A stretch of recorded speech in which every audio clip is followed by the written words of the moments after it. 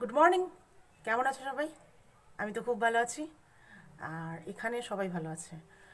আজকে কিন্তু জাকিয়ে ঠান্ডা পড়েছে। মানে কনকনে ঠান্ডা যাকে বলা হয়। আমি এইমাত্র স্নান করে চলে এসেছি। আর এখন তো প্রায় দশটা বাজে। আর ব্রেকফাস্ট করিনি।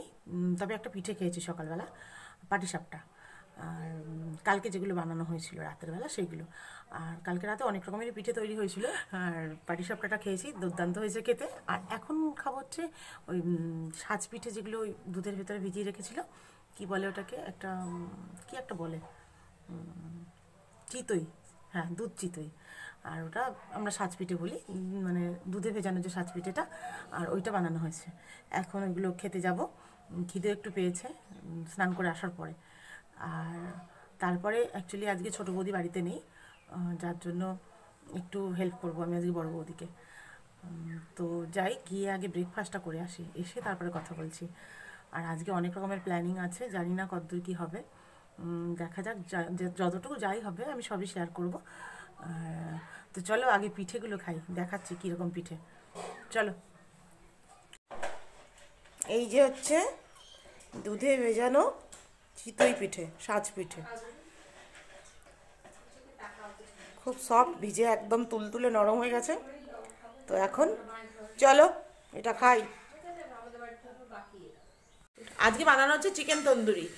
আর তার জন্য প্রথমে মাংসটাকে ধুয়ে পরিষ্কার করে এই যে গাগুলো সব একটু চিড়ে চিড়ে দেওয়া হয়েছে আর নুন দেওয়া হলো। এখানে আছে কটা মুরগি বৌদি? পাঁচটা। পাঁচটা মুরগি আছে। তো এবার একটু হলুদ।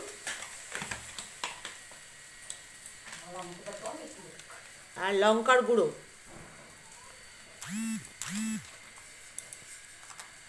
আর এই যে গোলমরিচের গুঁড়ি।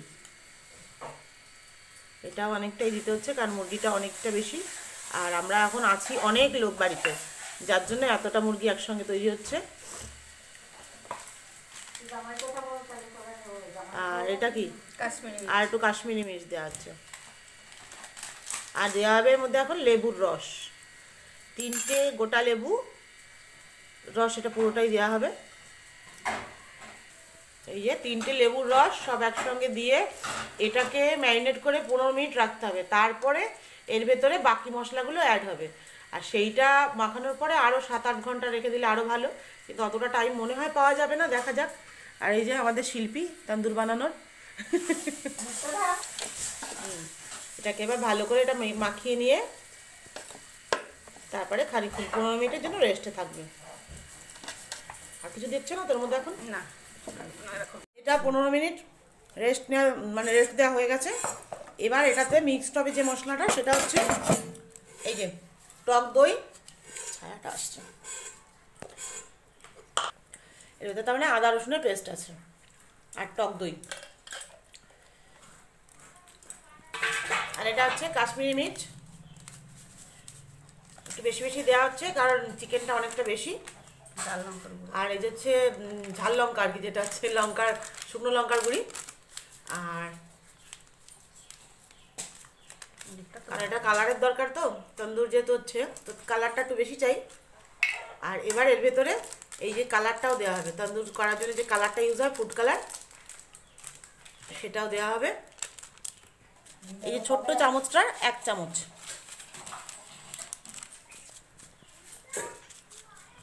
ছোট চামচের মানে টি টি স্পুন বলা যায়, সেটাতে এক চামচ দেওয়া হলো। আর এই যে হাফ চামচের মতো একটু লবণ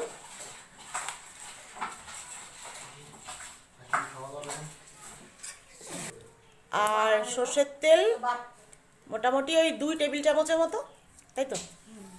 না বেশি চার টেবিল চামচ। মাংসের পরিমাণটা একটু বেশি হ্যাঁ চার টেবিল চামচ সর্ষের তেল। দিয়ে এটাকে ভালো করে মিক্স করতে হবে করে তারপরে ওই চিকেনটাতে মাখাতে হবে। এই যে মিক্সিং চলছে। মিক্সিং মিক্সিং মিক্সিং আর একটুখানি জিরের গুঁড়ো এর ভেতরে অ্যাড করে দেওয়া হলো। ব্যাস হয়ে গেল আর কিছু লাগবে না এখন এইটা দিয়ে। হুম হয়ে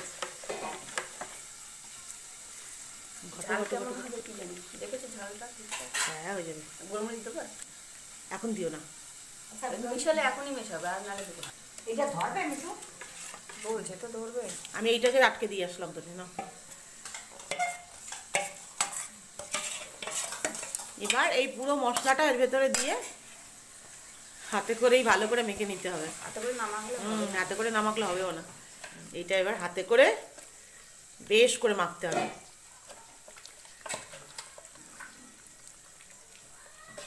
তারপরে এটাকে এখন রেস্টে থাকবে। যতক্ষণ না রান্নাটা শুরু করছে রান্না দেখানোর সময় একবার ফিরে আসব।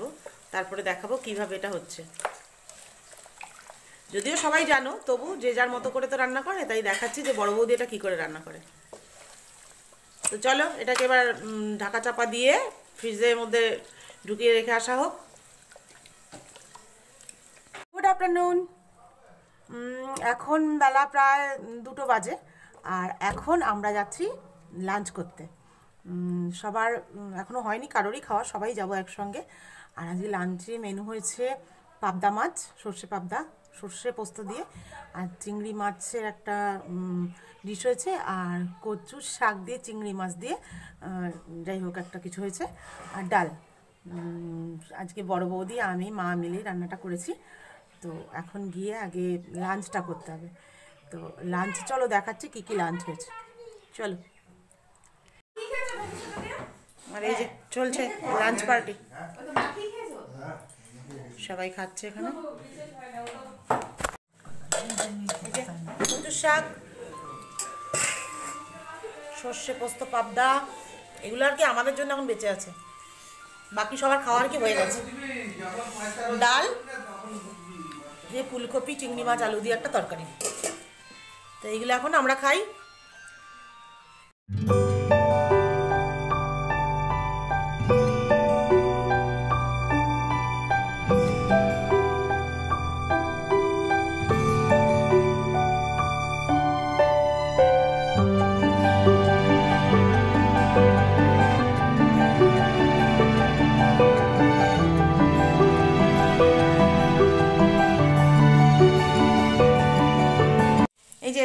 কড়াইয়ের মধ্যে একটুখানি সাদা তেল সামান্য একটু ব্রাশ করে তার উপরে বাটারটা দেওয়া আছে যাতে বাটারটা না জ্বলে যায়।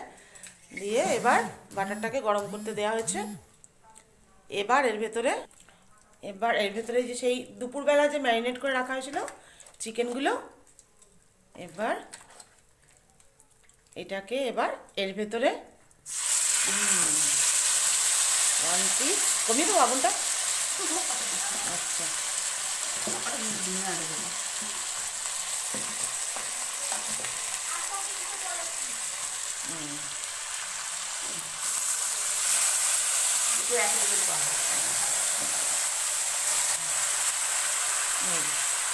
দু পিস দু পিস করে দেওয়া হচ্ছে এটাতে। এবার আগুনটা এখন আপাতত বাড়ানোই আছে এবার কমিয়ে দেওয়া হলো। এবার কম আগুনে এটাকে ঢাকা দিয়ে করবে তো? না। ও আচ্ছা ঢাকা ছাড়াই করবে। এখন থাকুক। না আর অনেকটা পরিমাণে যেহেতু হচ্ছে তো একটা জায়গা তো সব করতে করতে অনেক লেট হয়ে যাবে যার জন্য একটা দুটো এখানেও একটা বসানো হবে। এই তিনটে জায়গাতে একসঙ্গে করা হবে কারণ একসঙ্গে নাহলে সবাই মিলে খাওয়া যাবে না। আর এই যে নিয়মরে থেকে সব পেস্ট্রি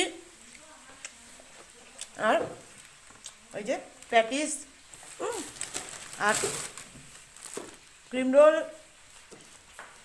আরও বাচ্চারা সব খাচ্ছে, না জানি কী কী। এইগুলো এই যে এনারা দুদিন আগে নিয়ে এসছে। আগে খেয়ে নিই তারপরে তন্দুরি পার্টি হবে। আর এই যে একটু সেখানেও দিয়ে দেওয়া হয়েছে। এই যে মোটামুটি হয়ে গেছে, রেডি। এবার এটাকে, এই যে আগুনে আবার একটু সেকে নেওয়া হচ্ছে। কারণ ওই যে স্মোকি যে একটা ব্যাপার, সেটা করার জন্য। কারণ আমাদের বাড়িতে কাঠ মানে কাঠ কয়লা যেটা বা চারকোল কিছু নেই ওই জন্য এইভাবে সেকে নেওয়া হচ্ছে।